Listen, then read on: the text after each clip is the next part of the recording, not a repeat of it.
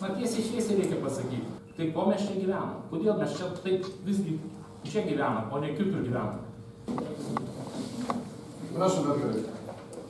Kadangi esate deleguojamas į mero pavaduotojo pareigas, gerbiamas prezidentė, norėjau jūsų paklausti, sakykit, gal žinote, yra kiek per mokslo metus sumažėjo mokinių skaičius, koksai pakeitė savivaldybė, kaip žadate, kad jų nemažėtų ir man svarbiausia įdomu, kaip išlaikysite ūkdymo įstaigų tinklą, ar mažinsite, ar paliksite tokį patį e, tinklą pakeitė savivaldybė.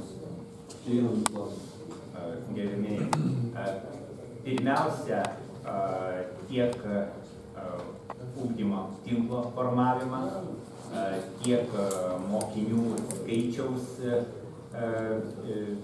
ir komplektų sudarimas yra visos savivaldybės, daro visos savivaldybės tarybos nariai. Todėl man prisijimti atsakomybę ir atsakyti dabar jums į jūsų pateiktą klausimą tikrai tai nėra mero pavaduotojo kompetencijoje.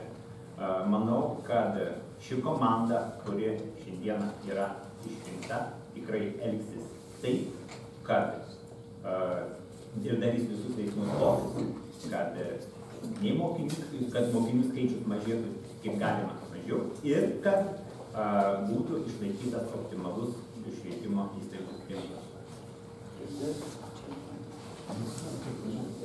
A, O jeigu dėl skaičiaus, tai a, kasmet sumažėja, su, mokinių sumažėja apie 70-80. 95. Na tiesiai šviesiai reikia pasakyti.